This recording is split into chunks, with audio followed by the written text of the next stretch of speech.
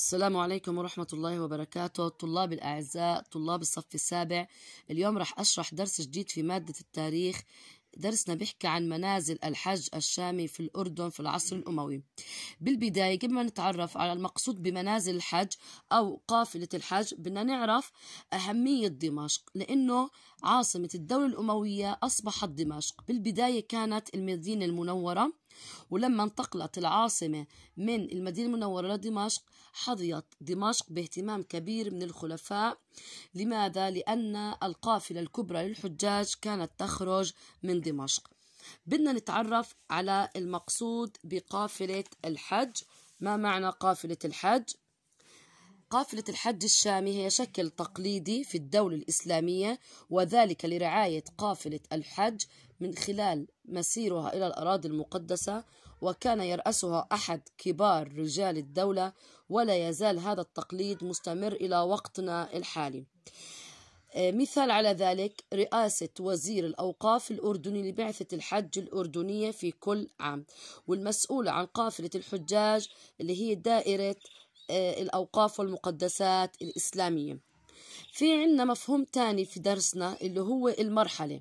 المرحلة هي مسيرة يوم وتقدر بحوالي من 45 إلى 50 كيلو متر من 45 إلى 50 كيلو متر هاي طبعا بنسميها المرحلة اللي هي مسيرة يوم أي الانتقال من محطة إلى محطة أو من منزل إلى منزل اللي هي منازل الحج الشامي.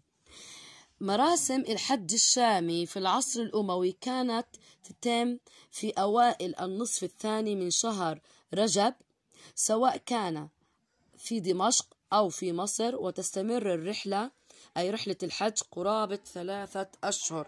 وكان يوم خروج قافلة الحج يوما مهيبا يعني يوما عظيما وتقام فيه الاحتفالات ويودع القافلة أي قافلة الحجاج الخلفاء والأمراء والعامة الناس يعني الأشخاص الأصدقاء الجيران وذوي الحجاج. في يوم مهيب في يوم كانت تخرج فيه القافلة ويتم توديعهم من قبل أقربائهم. رح نتعرف الآن على أهم منازل حج الشامي في الأردن. عندنا عدة منازل. بس قبل ما نحكي عن منازل حج الشامي في الأردن بدنا نعرف إنه في منطقة اسمها أذرعات التي يطلق عليها اليوم اسم درعا. هي آخر منازل حج في سوريا. آخر منازل حج في سوريا ثم يبدأ الجزء الأردني عن طريق الحج الشامي. وزي ما هم بين عندنا هون بالكتاب هي خريطة المملكة الأردنية الهاشمية. هي درعا. الحدود السورية الأردنية. آخر منزل من منازل الحج في سوريا اللي هي الدرعات اللي هي درعا حاليا بعدين بمروا بمنازل الحج في الأردن. ورح نتعرف عليها آه وحدة وحدة. أول وحدة أهم منازل الحج المنازل يعني محطات اللي هي الفدين المفرق وهي أولى منازل حج الشامي في الأردن. إذا أولى منازل حج الشامي في الأردن اللي هي المفرق. تاني منزلة أو تاني محطة الأزرق الأزرق اللي هي اهتم بها خلفاء بني أمية وأقاموا بها القصور وكانت مزودة بالبرك والآبار لكي يستفيد منها الحجاج. المنزل الثالثة الزرقاء وهي مركز للمراقبة والحراسة عن طريق الحج الشامي. المنزل الرابعة اللي هي عمان وكانت في العصر الأموي سوقا عامرا ومقصدا للحجاج الراغبين في شراء حاجاتهم وسلعهم. يعني كان في سوق في كل السلع والحاجات اللي بيحتاج إلها الحجاج فكانوا الراغبين بشراء حاجاتهم كانوا يعني يشتروها من وين؟ من عمان. القسطل. عثر على القسطل على مجموعة من النقوش التي كانت أدعية للحجاج أدعية للحجاج. عندنا المنطقة السادسة زيزيا أي الجيزة ويوجد فيها بركة ماء رومانية بركة ماء رومانية وكان يتزود منها الحجاج بالماء وهي منطقة غنية بالمحاصيل الزراعية. ما دام فيها مي أكيد بده يكون فيها إنتاج زراعي ومحاصيل زراعية. معان عمرها بنو أمية وأنشأوا فيها سوقا كبيرا. إذا في سوق كبير تاني غير اللي بعمان في عنا سوق بمعان وكان الحجاج يخزنوا فيهم أمتعتهم الزائدة. يعني أي إشي زائد عن الحاجة كان يخزنوه وين؟ بمعان. وفي آه، وين كانوا يخزنوها؟ في أماكن بتم حراستها لحين عودتهم. لما يخلصوا يرجعوا من الحج ويمروا بمعان مرة تانية كانوا يرجعوا ياخذوا أمتعتهم الزائدة اللي بتم تخزينها. المنزل الثامن اللي هي آيلة العقبة وكانت ملتقى حجاج الشام بحجاج مصر والمغرب. حجاج الشام اللي بيجوا من بلاد الشام بيلتقوا بحجاج مصر والمغرب وين؟ في العقبة.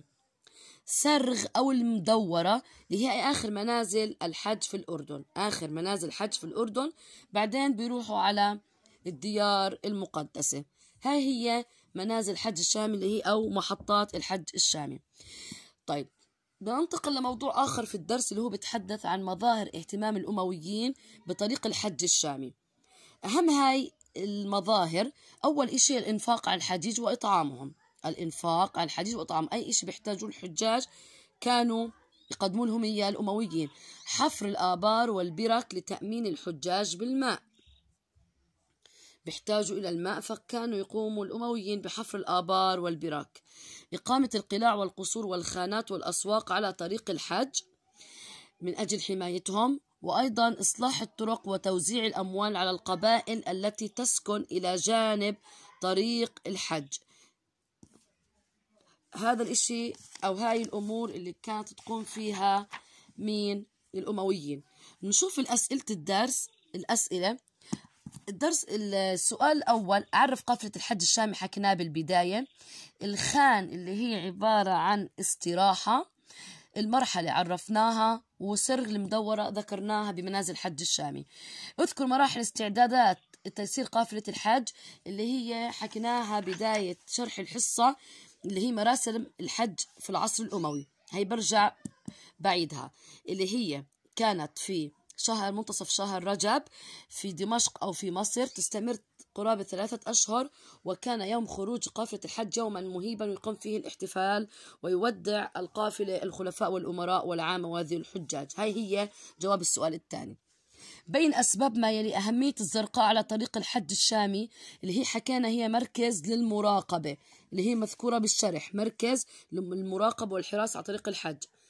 إقامة حامية عسكرية في عمان من أجل حمايتهم من أجل حماية الحجاج ولأنها مقصدا للحجاج من خلال وجود سوق في عمان. تعدد مسارات قافلة الحج الشامي وطرقها. نكمل. هسا وصلنا عند جيم. السؤال الثالث. تعددت أو تعدد مسارات قافلة الحج الشامي وطرقها.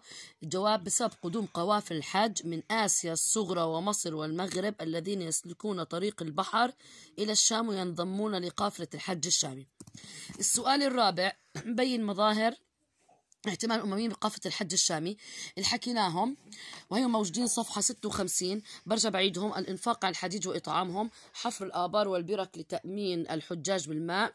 إقامة القلاع والقصور والخانات والأسواق عن طريق الحج وإصلاح الطريق وتوزيع الأموال على القبائل التي تسكن إلى جانب طريق الحج السؤال الخامس أكمل الجدول الآتي بالمعلومات صحيحة. المفرق زي ما حكينا بداية الشرح أولى منازل الحج الشامي وخدمة الحجاج والمسافرين. الزرقاء مركز للمراقبة والحراسة عن طريق الحج عمان سوقا عابرا. لطريق الحجاج لشراء حاجاتهم وسلعهم. زيزيا اشتهرت ببركة ماء لتزويد الحجاج بالماء. إمعان سوقا كبيرا لتخزيز تخزين الحجاج أمتعتهم الزائدة ولو عودة إليها في أماكن حراسة مخصصة لهم. آيلة العقبة ملتقى حجاج الشام بحجاج مصر والمغرب. يعطيكم العافية هيك بكون خلصت الدرس وحليت الأسئلة.